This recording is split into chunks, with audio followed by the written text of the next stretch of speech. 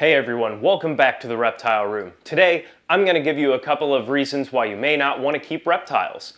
Starting off with, depending on what you are keeping, you're gonna need to keep fresh fruits and vegetables, and you may need to keep insects, and honestly, if you have an insectivore, you should be trying to offer them some plant materials as well. And then, if you're, if you're keeping snakes, if you're keeping snakes, you also have to keep bags of frozen, frozen rodents is what I prefer instead of live, then you don't have to keep you know, those, plus there's a whole bunch of reasons why I choose not to do live anyway, and these are far more easy to keep in your freezer. Let me go ahead and get some of these animals some of their food. I'm gonna get a couple of pieces of the bell pepper and greens for the basilisks, and I'm going to give a couple of pieces to the plated lizards. It seemed like last time I had pretty decent success with uh, offering them a banana, uh, a couple of pieces of banana. So we'll see if maybe they'll go after some of these bell peppers. They're pretty fragrant and uh, something to spice it up so they so they understand that it's there is a few mealworms just for extra movement. It usually gets the plated lizards going pretty well. For the basilisks, I know they aren't as uh, readily gonna go after this uh, in my experience.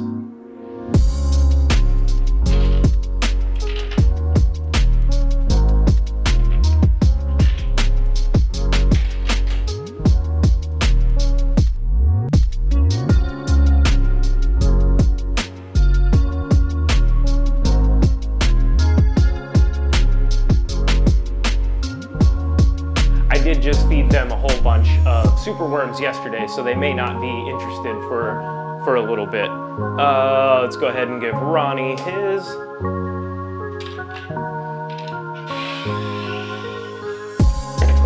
There you go, bud.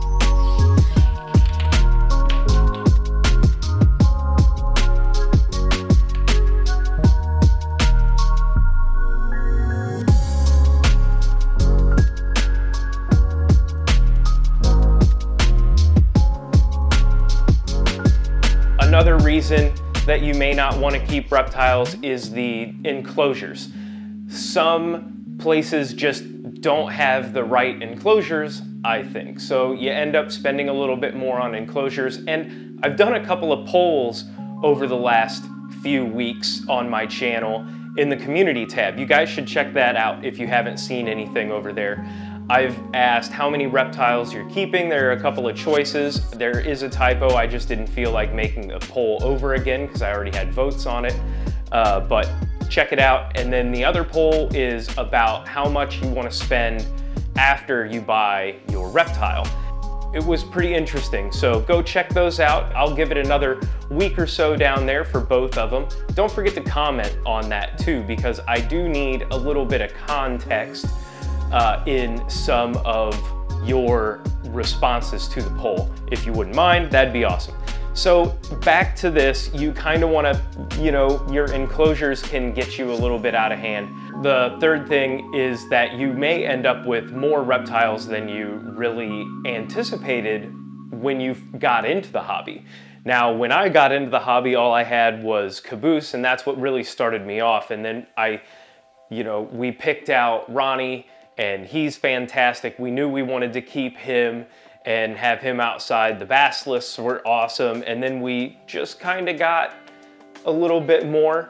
And I do want to thin down our groups a little bit just to concentrate a little bit more on the uh. I'm super happy we have the basilisks and I'm super happy we have the plated lizards. But they aren't what I thought I would end up with. And now that I have them, I kind of want to thin out our leopard geckos. So, you know, if local people hit me up, email me, I got a few. Anyway, a fourth reason, a fourth reason. I don't know if you guys see all these, you know, like lights and there's heat everywhere. Light and heat, light and heat. Ronnie's is ridiculous. He has all kinds of lighting and heating to meet his requirements. And I do use thermostats and everything to regulate the temperatures to help out offsetting additional costs and whatnot, if you will. Um, I don't think our electric bill is too out of hand. Uh, it isn't, you know, thousands of dollars. This is this is pretty straightforward. I we I do take efficiency in mind. That's why we have enough reptiles that I decided to build a room in this house. Well, mostly because we were planning on this guy and then I had also thought, well, if we're gonna build into this, you're gonna want an area to sit. Well, there isn't really an area to sit in here anymore. So, uh, you know, we, we moved a few animals in. You know, so what's that? Four reasons why you might not want reptiles? Yeah. So why do I keep them? Well, why do I keep them? They are a lot of work. You know, you've got a lot of people don't really think about daily needs for these animals, and they do have daily needs. You've got to be down here managing your, especially if you have different varieties. I think the fifth reason, that is number five, yeah. The fifth reason is also a reason to not keep reptiles and maybe a reason why I like to keep reptiles. Uh, the different challenges that you face. We do have multiple species, they do have different needs. They are relatively similar. Uh, they are similar enough that that is how we have decided to keep what we keep. The challenge of keeping these animals is definitely a, a downfall and a fun thing. You get to learn a whole lot about them. You get to watch them interact and behave differently. It's really fun it's a lot of work. It's a lot of work. And if you like to uh, travel, it's a bit of a challenge when you have to call up a pet sitter and you're like, hey, do you know how to keep uh, lizards? And they say, no.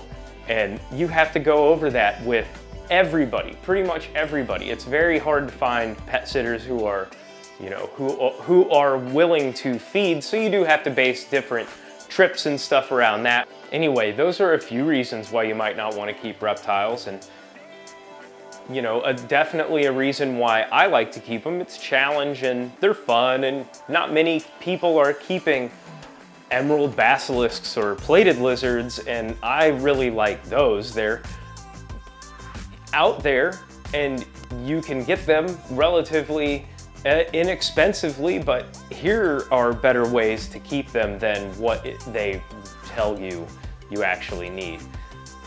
And I want to upgrade the plated lizards. So that's another downfall and a fun thing about keeping reptiles is you're always upgrading, you're always building more, but you do end up with keeping some pretty cool animals. When you look around and you take the time, you get to see some really cool behavior and they end up being really rewarding in the long run. And if you like a challenging puzzle, man, these, these guys are a bit of a challenge. All right, guys, well, that's gonna do it for this week's video. Let me know what you thought down below in the comments section. Like the video, share it around, subscribe. Thanks, guys. We'll see you next week.